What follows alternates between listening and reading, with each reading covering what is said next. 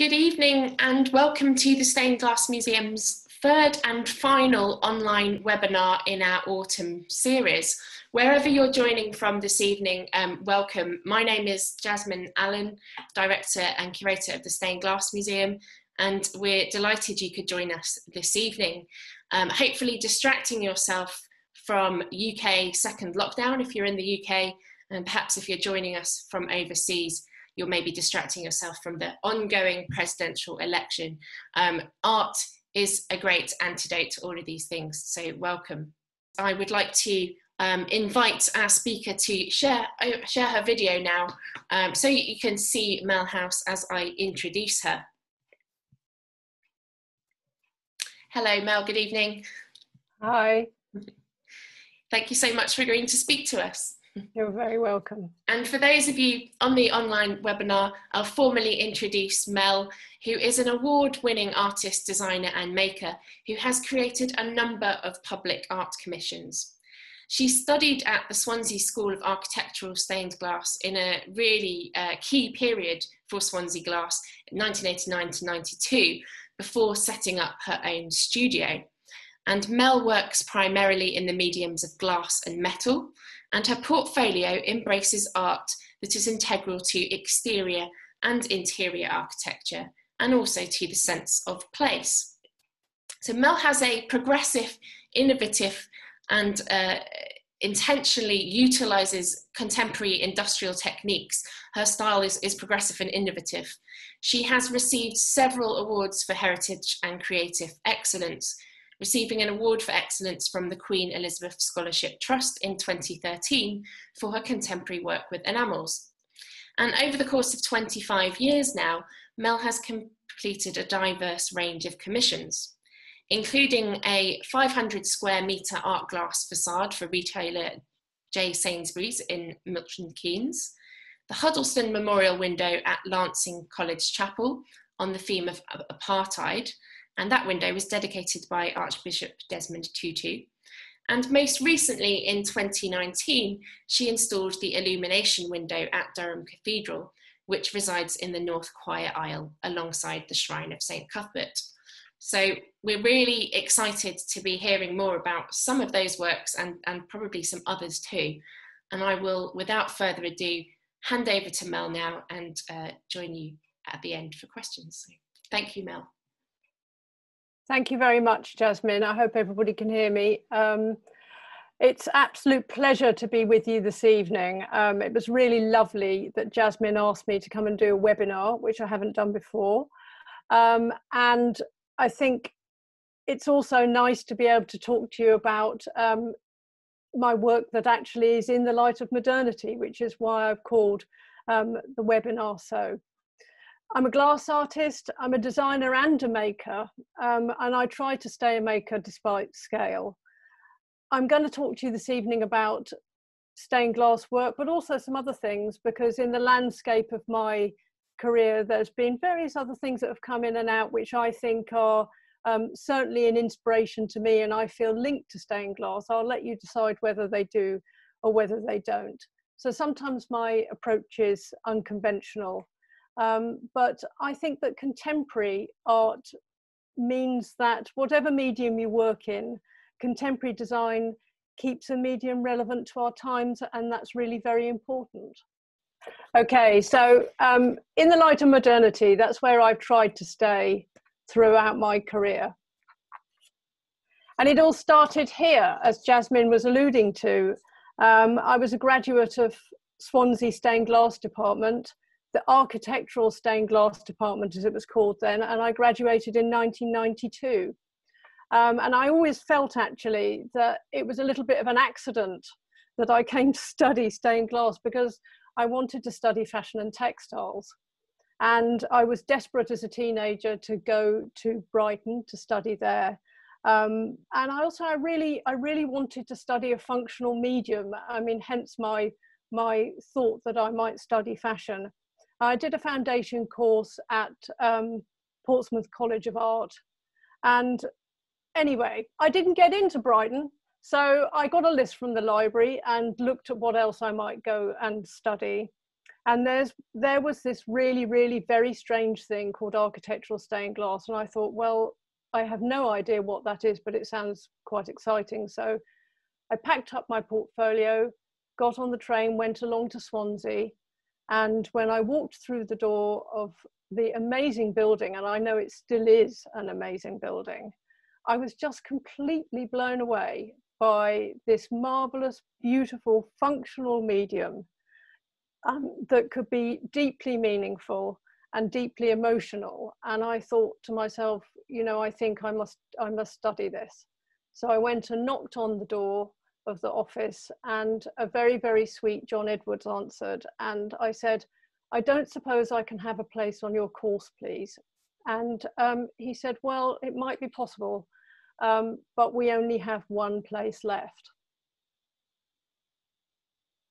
So, three wonderful years followed that, and um, I won three awards as, as a student, which was really very encouraging whilst I was studying. And this was my first commission. It was a commission for a piece of work at the college. It was for a library on a staircase. And um, it was quite an important develop, development for me because um, I had graduated and this was my first commission and I was really using the sum of what I had learnt on the three years of the course at the department.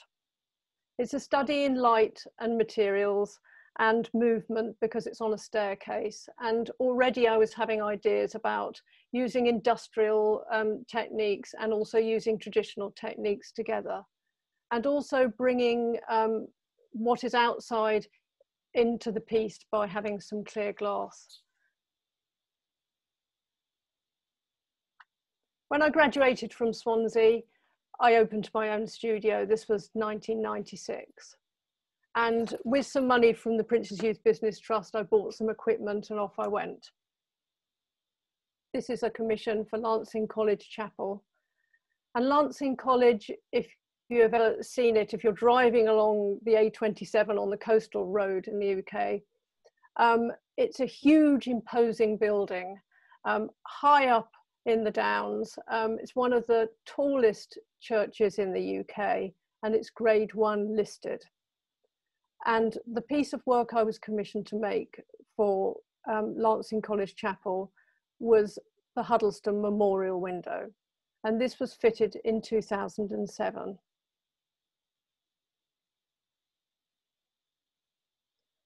When I went up to the college to talk to them about making this window, designing and making this window, um, we went into the college library because they wanted to explain to me a bit about what Trevor Huddleston um, meant to the college. He was a pupil at the college, and um, also he was key in the fight against apartheid in South Africa. And sitting on the um, sitting in the row of books on the shelves in the library was a tiny little book called Naught for Your Comfort, which I read cover to cover, um, was written by Trevor Huddleston about um, his fight um, to try and do something about apartheid. So my design shows a topsy-turvy world where some people have a lot and other people don't have anything at all you can see actually it's a south facing window and again I've used the, the structure, the focus of the window is in the center with a lot of clear glass around. This is um, the entrance to the chapel so it still lets a lot of light in. Minimal leading, a lot of acid etching, um, some stain and fairly minimal painting. And it was dedicated by Huddleston's friend Archbishop Desmond Tutu. It also reminds the pupils at the college and the students at the college that they too can change the world if they want to. Butchers Hall in the City of London commissioned a window for their entrance hall um, this was fitted in 2005, but it was a Quater centenary window. That was the brief. And Quater centenary means the celebration of 400 years. And they wanted to celebrate um, networking and sharing of knowledge within the Worshipful Company of Butchers. And you can see here in this slide um, my original work started with drawing and so I was using hands joining together to represent people meeting to share knowledge. And on the right hand side of the slide, you can see how the pencil drawing has been transposed into glass paint and antique glass.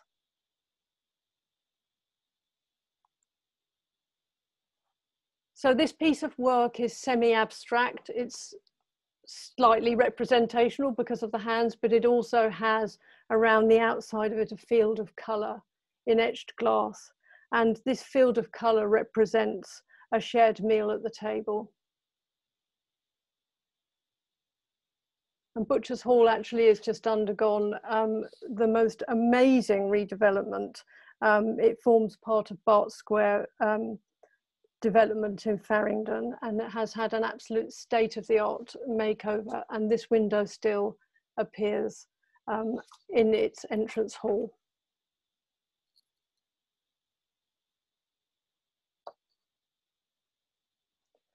In 2012, I made this window for Winchester University College and the brief for this commission um, was to a chapel the Winton Chapel, um, which has a lot of male Victorian figures in them. So it was important to them to bring a sense of balance with some female figures. Traits of female saints in a sea of Victorian male figures. And um, these two cheeky ladies are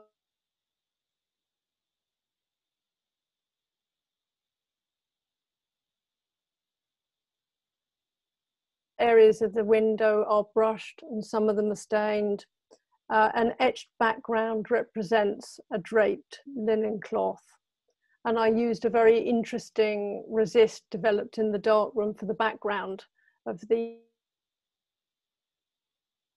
these windows. This is a technique that I don't think has been used anywhere else, but the perplex design that you see. I don't see why um, Saints in Windows can't be very of today and a bit funky, which I think these two ladies are. And um, another nice thing about this window is that the models for the two saints are my sisters. In recent years, the Winton Chapel has um, won awards for its development, which are architectural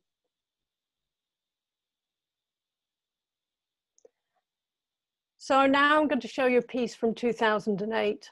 This is J. Sainsbury's at Central Milton Keynes. And this is a very different kind of a project to the stained glass projects that I was showing you. I still feel that this is very much stained glass. I don't know, you can have a look and maybe you feel it is, maybe you feel it isn't. Um, but this was a project for a new building.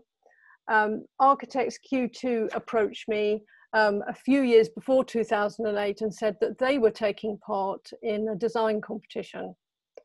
And they wanted glass art to be integral to their design.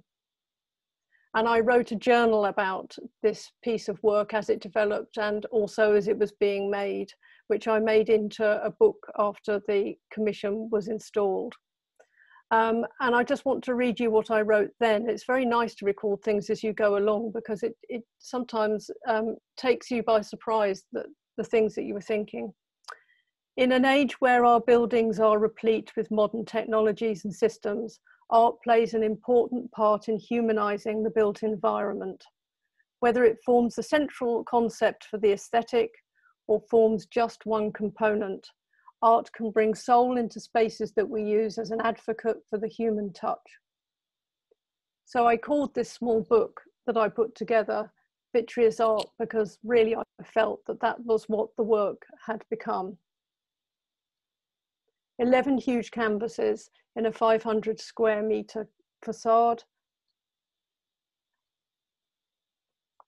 And before we even came to the facade, I actually designed for several locations around the building.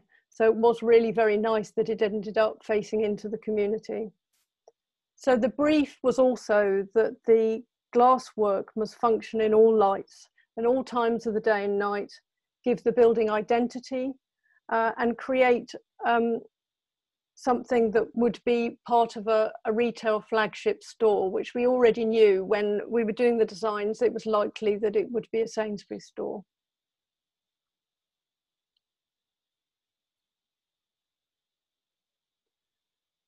So a form of glasswork in toughened glass, um, which you need in buildings um, such as this, and a very expressive form of using um, decorative glass and toughened glass. So the largest canvas you can see on the right hand side is five meters by five meters, but you can see on the left hand side of this slide the design that goes with it.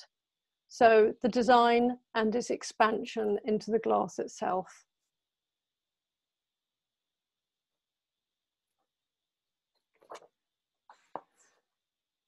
My approach to this project was always going to be very experimental.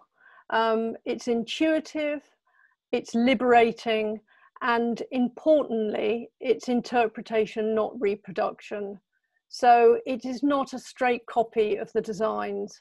It is actually created as one would create a painting. So this piece of work really stretched the boundaries of painting on glass um, and enamel enameling um, and other techniques, which I shall show in the show you in a minute but it was really a massive palette that just flowed. It was made in layers, so it was so the patterns and the forms could be built up. So there's vitreous enamels, silver stain, and it's plated with hand blown glass in some areas.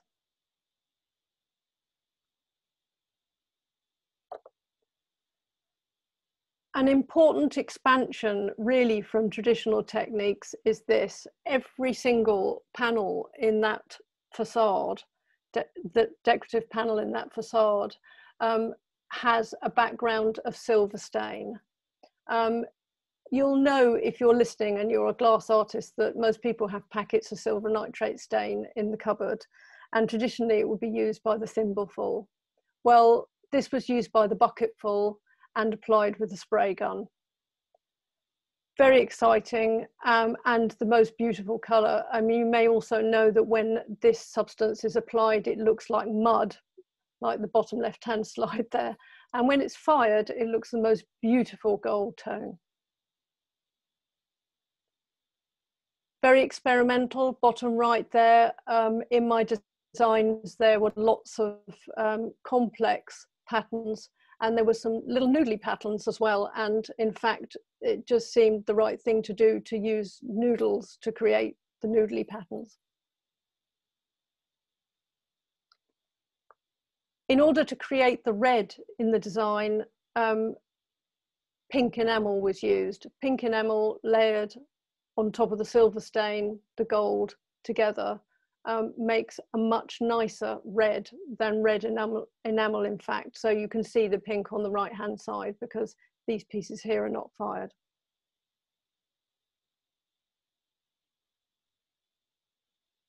Another link with tradition, an expansion of tradition, um, some big pieces of antique glass.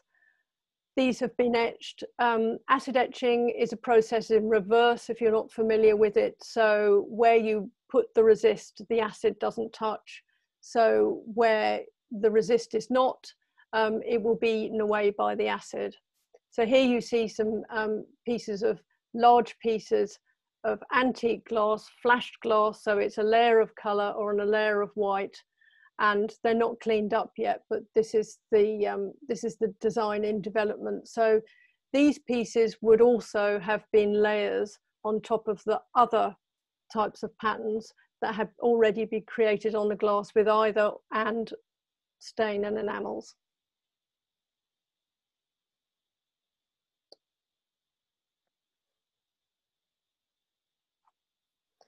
So just to go back um, to the journal that I wrote while um, this piece was being made, in the true spirit of public art, this is a piece for those who rarely visit an art gallery but who do go shopping and it lives within a much used functional environment that makes it accessible to all within and without, and at all hours of the day. And quite possibly at the moment, it's one of the few things that will actually be open here. So you can actually go and have a look at it. It truly is a landmark. Um, you can't miss it. Um, and if you get the chance, do go and have a look and buy a pint of milk um, in the store and travel up and down the escalator and have a look at those great big panels because they're great to see close up as well as to see from a distance. But amazingly, these pieces are made in only two firings. There are only two firings on all of those pieces of glass. Um, and also every single panel is created in reverse because of the way that the glass had to be fitted. So quite some undertaking.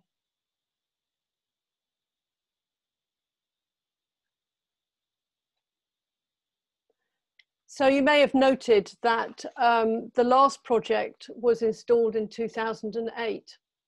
Um, and that's poignant because um, as Sainsbury's was making a splash of colour as it was opening, um, the world around us was crashing and um, was fairly turbulent. And from my point of view, as an artist and a designer, I wanted to carry on developing. And the question was how to continue to develop um, my thoughts, mainly about working um, in vitreous enamels. So it was obvious what to do. I just needed to go and make a bath, um, which I did.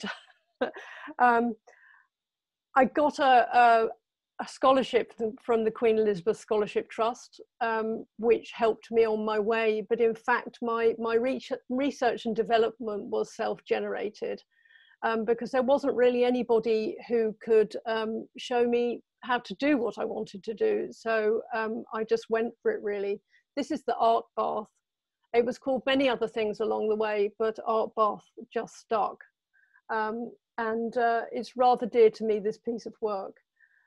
It's vitreous enamels on um, cast iron. And um, working on metal is different to working on glass. Um, it, the enamels behave very differently, um, but it's also um, again liberating um, and um, the colors are beautiful but the link between this and maybe the last piece I showed you is actually all of this is worked um, with a spray gun. This piece of work started for me the love of working on a curve um, and also love of, of making vessels, which I still do. So this piece is 2012. I'm sorry, this piece is 2009. In 2012, I showed this piece um, in a debate at the V&A called Crossing Boundaries.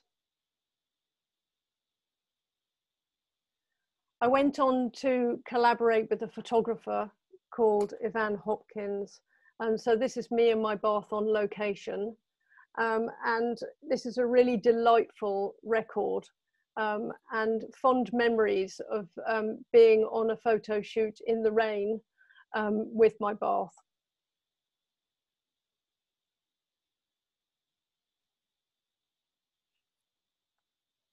And here's a commission um, in steel. This is St Cuthbert's Church in Copnor, Portsmouth. Um, and I worked with this group for four, four five years. And um, from that time came these two pieces of work, a font and a reredos um, in steel and vitreous enamels. Um, and it makes quite an impact actually when you go into the church. It was a leap of faith um, from these, these beautiful people because um, they were choosing a new aesthetic um, for a Victorian building so a different kind of a surface and a different kind of appro approach, and which is probably the reason partly it makes such an impact. But they really wanted um, a font that spoke of baptism. So this is a vortex of water rising from the church floor, um, and it visually combines with the reredos behind, which um, speaks of St Cuthbert's journey um, in an abstract way. So a new aesthetic um, and an open-minded approach and a fresh approach to using materials.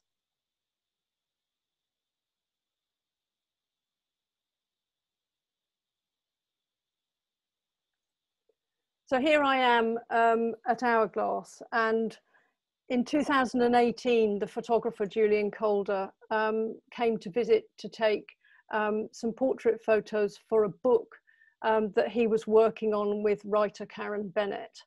And um, he came through the doors of the factory and he said, Oh my goodness, you actually do this. Um, so that was quite a good start to a photo shoot. Um, but the book uh, that the two of them published together is called A Celebration of British Craftsmanship. Um, and this is Julian's um, portrait that's in the book alongside um, a very, very nice um, text written by Karen Bennett, which, um, in which she describes really my journey over the last decade and um, the types of things I've been involved with. Um, so you can look out for that book. Um, it's available from the Queen Elizabeth Scholarship Trust and also um, Amazon. And in the book, you can also see the stories of other QEST scholars. So it's a very lovely record to have, um, a very nice portrait. And by the way, the pieces I'm making there are um, large toughened enamel panels.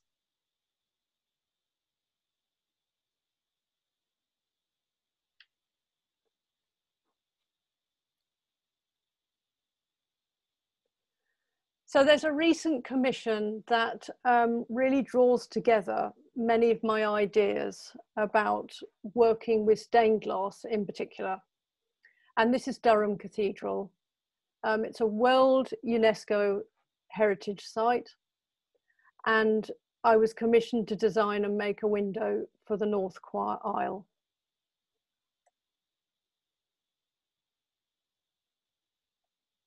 This is the illumination window. And it res resides alongside the Shrine of St. Cuthbert. In 2016, I received the most beautiful brief I think I have ever read. And it was no normal brief. It was a collection of papers um, from Canon Rosalind Brown, Hugh Dixon, architect Chris Cotton, and the late historian Neil Mote. And their words described really the kind of window that they were looking for for Durham Cathedral.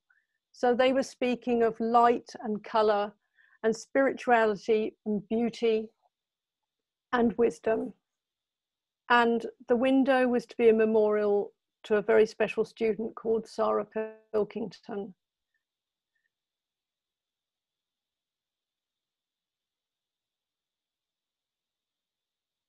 the very start, I already had a vision, a vision of the window that I might make for Durham Cathedral. It was to be a celebration of young life, a vibrant life, a message of hope. And I wanted to design a window where the glass contained no black as a symbol of life over death. So what I have made is full of movement it's organic, it's semi abstract, which to me makes it accessible to all. Another important thing to note about this window is light control, because this window faces north, which people are often very, very surprised about because it has the feeling about it when you see it that the sun is always there, but of course it can't be because it faces north. And another important thing about designing and making this window was that a chapel called the Chapel of the Nine Altars, which um, comes out at a right angle to this to this window, would, if you weren't careful, visually cut this window in half. So it was very important that the treatment and the type of glass um, could combat that and allow you to see a whole design, which this does. It took me two years to make this window.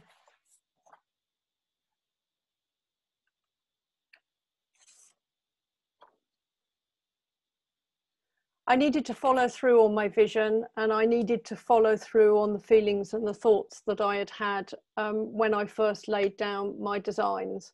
And so I decided that I would um, start by making a full size cartoon, a full size color cartoon, um, which might be considered a little bit unusual today um, to actually make a one to one um, instead of just taking um, your scale design and blowing it up as it were. But I, I so much wanted to follow through on my vision. So I made a one-to-one color cartoon um, and I worked with my spray gun to make sure that the design flowed in the way I wanted it to flow. Um, and that I could work with a sense of place in my mind. And also by doing this, you are kind of making the work as you go along in your head as you are laying down the design on the cartoon. So it was a very useful thing to do. I really got to know the sense of scale. And um, also there was a local church in Chichester, a very, very big church with an amazing, um, amazing gallery, very high up. And they were kind enough to let me lay the cartoon out on the floor and go up to the gallery so I could look down on it um, to see what I had created from a distance. Along the way, I made lots of samples um, before I started making this window. Here is one of those samples, um, just so that I could try out um, the transitions within my designs. Um, I worked with antique glass and enamels, um, flash glass, and a lot of etching. Um, anyway, this sample explores some of those transitions and some of the different weights that I wanted to use.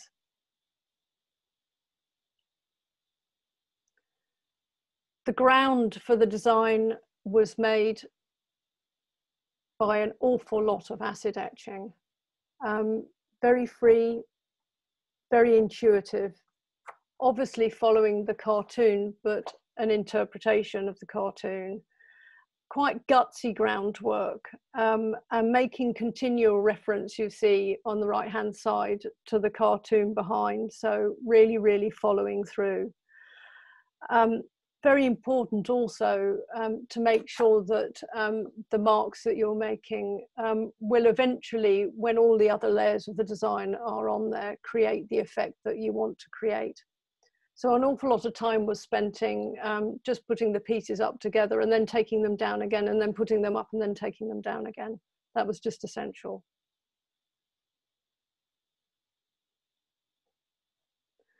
So following through again um, with sprayed work, um, here I am um, in the spray booth with a very nice portrait by photographer Jim Stevenson. Um, Jim is an architectural filmmaker and photographer, and he made a record of um, the making of this commission throughout.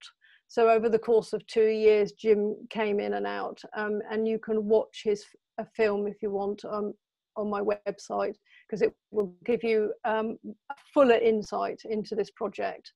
Um, but I was again, again creating some quite complex um, shapes and quite complex patterns um, on the glass and things that make more sense actually when you see them at a distance than they do when they're very close to you, um, like the slide on the right.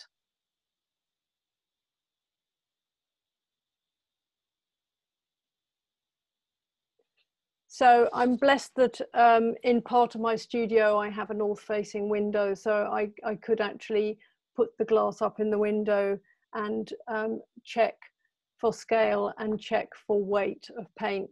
And again, you see the cartoon on the right hand side of this slide um, that um, continually checking to see whether I'm happy. Um, and it's quite interesting not to work with any black and rely only on tone of color, only on very dark green and very dark blue. Um, and the white in the design, of course, symbolic of life, um, is obviously throughout. And that structure really carries the flow of the design from the bottom right up to the top of the window. And here are some of those panels at installation um, so of course, they do look quite different when they're actually in place. And of course, that's something um, that's something you learn as, as a designer and maker that um, you have to carry a sense of place in your mind when you're making something um, because the thing that you're making doesn't belong to you, it belongs to that place.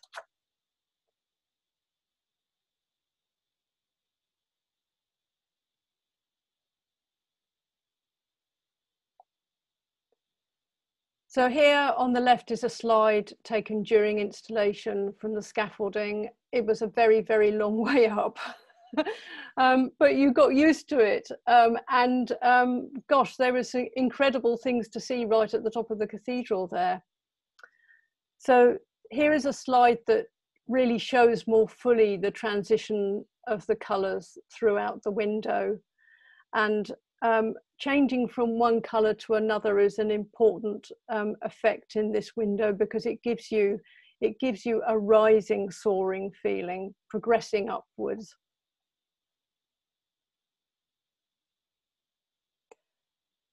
It's a very contemporary work of art um, but it really does fit very well in the place. People i think who normally don't have much of a passion for contemporary stained glass um, have visited and told me actually they they really enjoyed looking at it.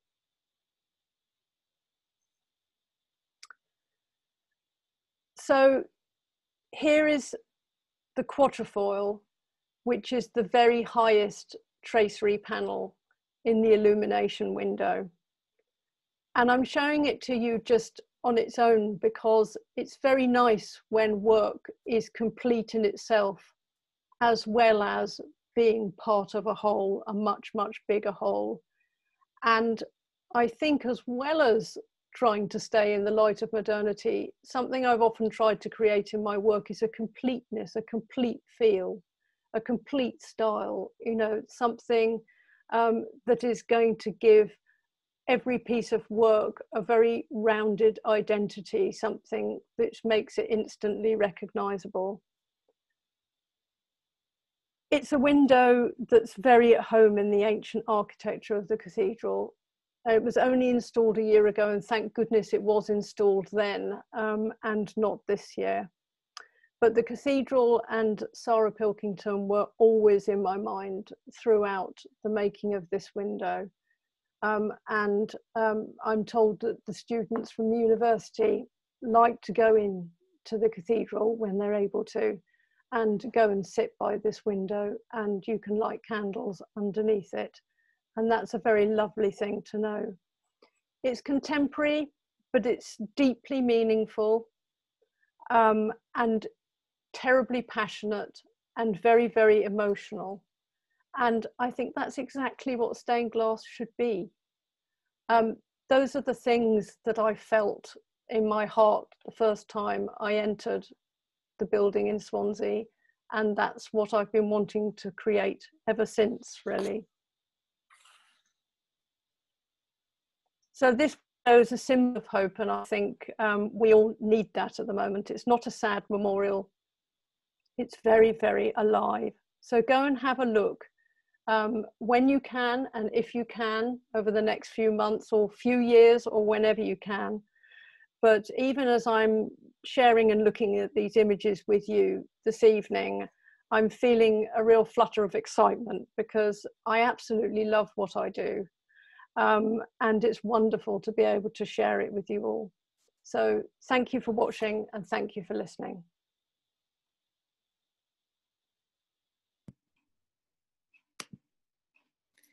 Thank you, Mel. Um, I can see people saying wonderful work. Thank you um, for sharing it with us. It's so, so extraordinary to, and a great opportunity for us all to hear from artists actually speak about their work. Um, it makes such an extraordinary difference to, to how you kind of look at works and appreciate them. So thank you so much. Rounds of applause are all going round at home. Um, if you want to just stop sharing your presentation for a moment, Mel, um, we'll be able to see your face, I hope. Um, there we go.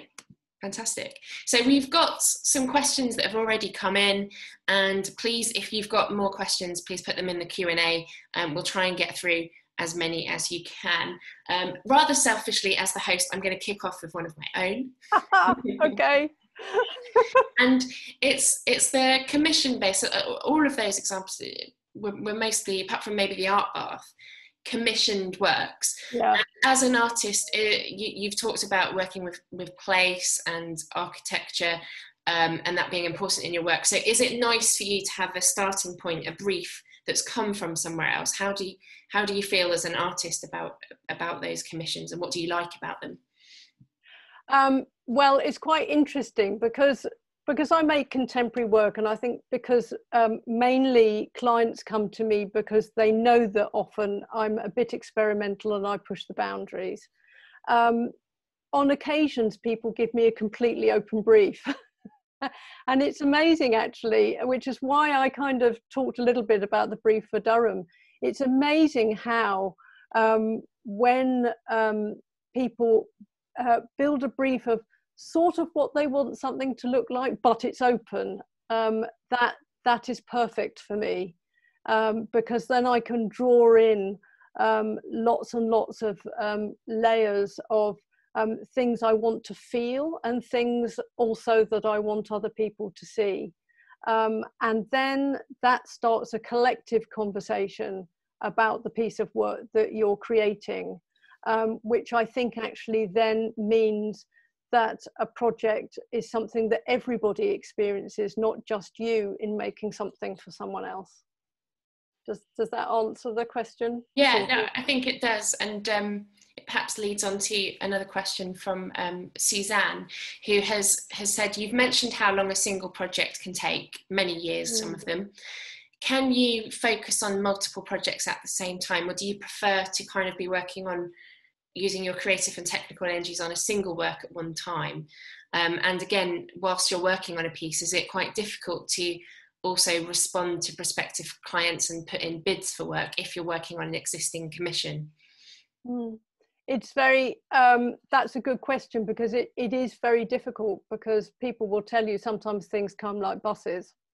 um, and um, sometimes you you need to be able to re- respond to several things at once and um, uh, sometimes you can't but you know oft, often you can or sometimes you you you need to. So you need to work out how you're going to do that. So that's that's about that's about planning um, that's about being realistic about a schedule um, and um, multitasking. It's about yeah and and staying focused um, actually can be done. I mean, yeah, it, it can be done. But the, the reason I couldn't really do that with Durham because it was so intense.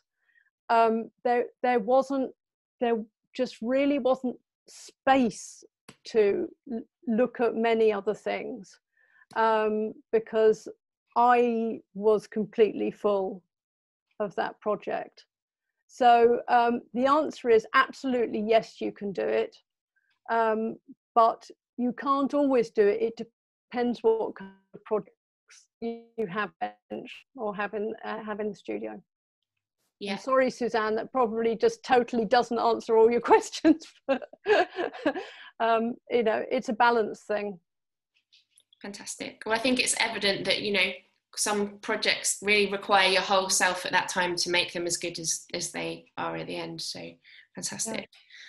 Yeah. Um, a couple of people are asking, um, well, lots of people saying that they love your work. So I should say that because you can't see these comments, which I'm reading, and I will make sure you get them. But people loving the strength and richness of your work, uh, thinking it's fabulous uh, and fascinating to see and hear about your work.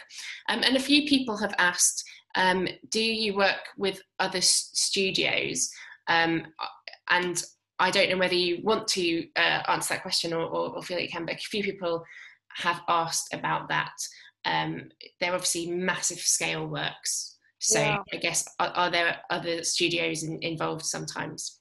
Well, you know, um, I showed you the Sainsbury's project, and you know, respect from for for Derix who I work with there, um, and for for them letting me be that experimental, um, which I I would say is fairly unusual.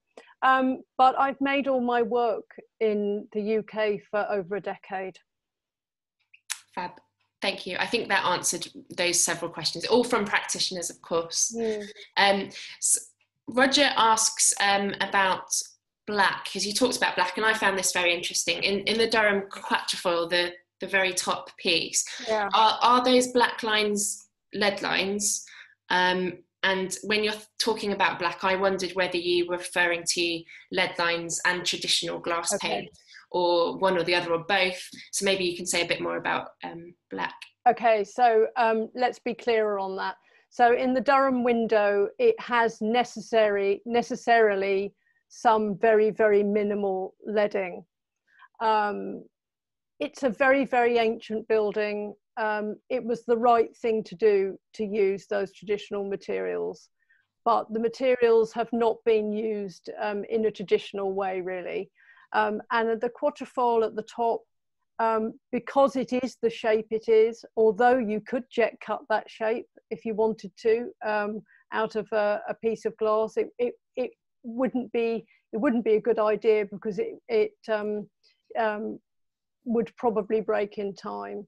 So um, that necessarily has some very few leads in it. But the actual glasswork and the design itself um, is in colour and white. Does that does that answer the question? Yeah, yeah, that absolutely does. Um, thank you. And I guess the use of lead as well as being structural is a nice little nod to some of the other windows in, in the building. So it, it just uh, well, uh, yeah, it's that, and it's also the fact that, um, uh, especially, I mean, you know, um, World Heritage Site, you know, it does affect also what the uh, window looks like from the outside as well as the inside. Um, and you know that's also something that we were caring for in using hand blown glass and lead. Yeah. Fab. Okay. Um, Jill has asked. This is a great question, actually. What has been the public reaction to the beautiful Sainsbury's panels? And I guess because it's in a supermarket, you know, it's not your usual kind of glass art commission because a lot of people think of churches, although there's lots yeah. of public buildings. So, do you know? Yeah, I, I, I have had people send me photographs of themselves buying pints of milk, standing on the escalator um, in Sainsbury's, and because it's so accessible, people people can go and people can go and see it and go right up to it. I, from from inside it's more difficult although you can sit from the the escalator but certainly from the outside um, and um, i've noticed also as a, as a piece of contemporary art it's been um, picked up by quite a lot of people. I mean it it's huge. I mean you can't you just can't miss it. Um, i mean it has to be said you know why why why shouldn't supermarkets and other types of public buildings that we use all the time ha- why shouldn't they have amazing art in them? Why sh- why shouldn't it be there just because it's a supermarket you know um, it's it's not only for churches it can be in many other places as well so i think i think that kind of proves the point that it can work and it really really does give the building the identity i mean it's Fab. And it's, it is so large scale. I'm really glad you showed the whole facade because it really gives you a sense of that scale. Um, mm. work, working on such a large scale, is that something that you really relish? Or is it a little bit, sometimes you, mentioned it can be a bit daunting, um, I think, uh, in a video that I, I watched actually the other day. As my prep. well, um, you know what? you don't um, i'm just thinking back to the swansea days and that first commission you don't get anywhere overnight mm. you you sometimes get to um, having skills and experience over time um, and look you can see the size of those panels you know you're you're sometimes not doing able to do these things on your own. Um, but um, I've got used to over years working at a very big scale, and if if anything, maybe I'm I'm maybe I'm more comfortable actually at working on bigger things than I am smaller things because I've got used to doing that, and I think my my brain can make that leap between you know things that necessarily to communicate to you a design have to be smaller. Although actually these days i'm doing a lot at one to one um, but um, you know I'm, I, I, feel comfortable with making that leap. And i, I would say um, people should just go for it really.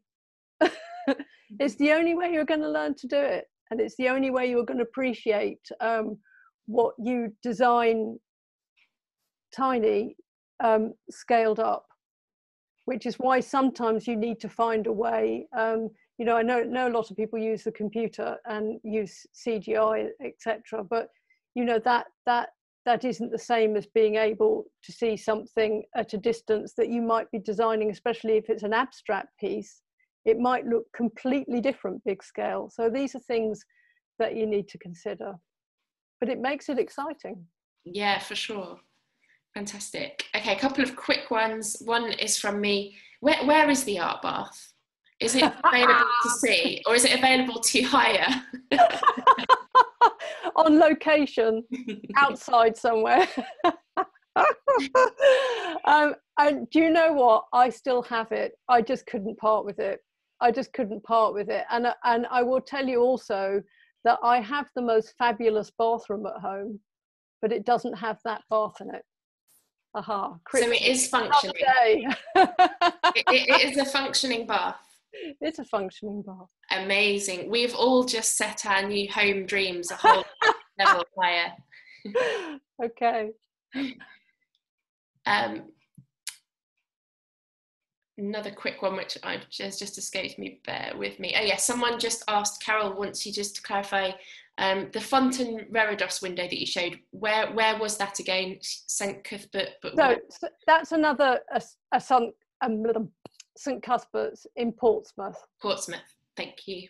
Um, that's answered that one. Um, Italia asks, is there a piece that's given you the greatest joy to create? And do you have a kind of favourite um, technique or process as part of the, is, is, there like a favourite bit that you get excited about, whether it's a technique or part of the process of making? Um, well, I have a, a, fondness for lots of different projects for different reasons.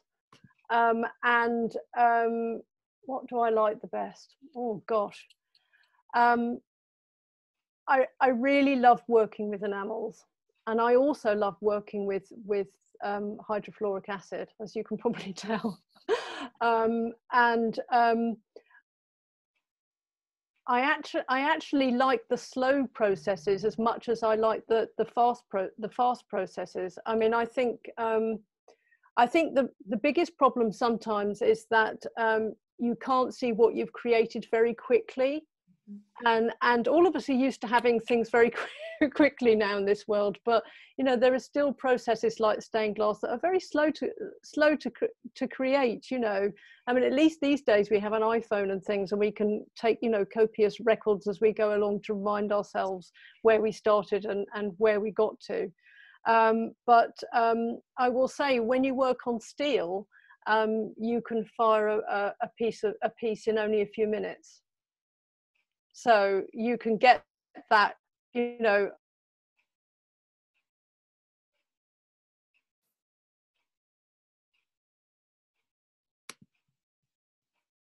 large piece of glass, that can be fairly quick as well. So there are certain processes that do help with that.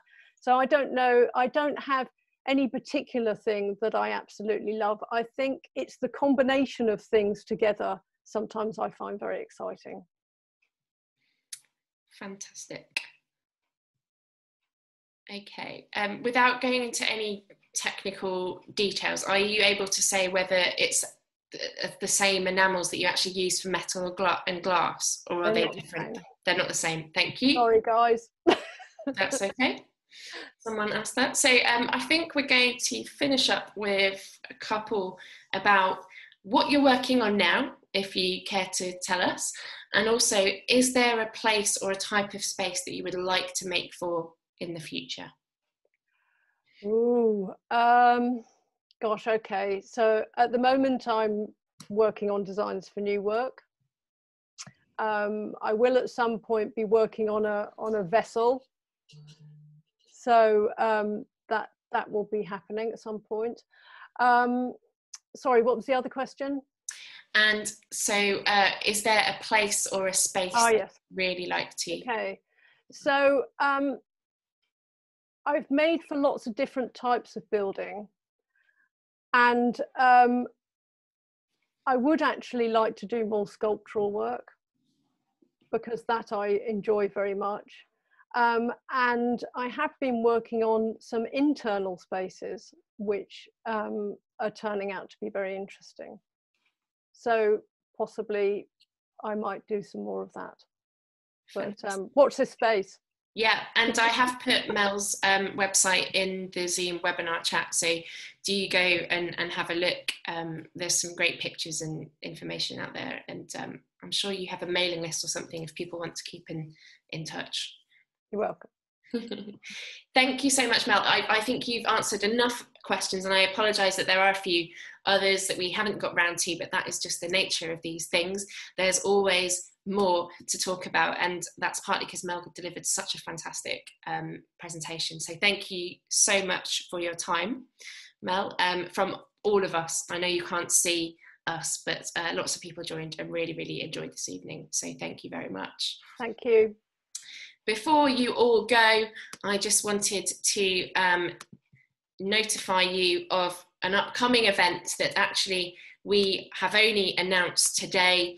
Um, many of you have emailed us over the last uh, month or so to say how fantastic it is that we're doing these online events. Don't worry, we're not going to stop doing them anytime soon. And I'm really pleased to say that um, Rachel Mulligan, an, another artist, has uh, agreed to talk to us about her narrative work in stained glass, including a series inspired by uh, COVID and lockdown, Tinker Tailor Soldier Spy.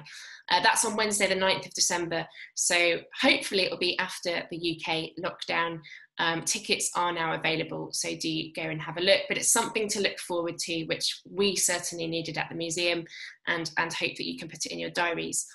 Good news if you're friends of the museum, because we're making that one free for friends. And um, those of you who aren't friends will need to just buy a ticket, um, which leads me on to the, the final slide, uh, just to remind you all if you're not uh, friends of the Stained Glass Museum. It is a fantastic way of supporting the museum, um, coming to events like this and hearing about them, as well as uh, supporting our National Collection of Stained Glass. We are closed at the moment for at least four weeks, but we will be keeping in touch with all of you online. So if you um, have social media, please do follow our accounts. And thank you again for joining us this evening, everyone, um, wherever you are. I hope you stay uh, well. And um, thank you, Mel, very much again for, for joining us this evening. Goodbye.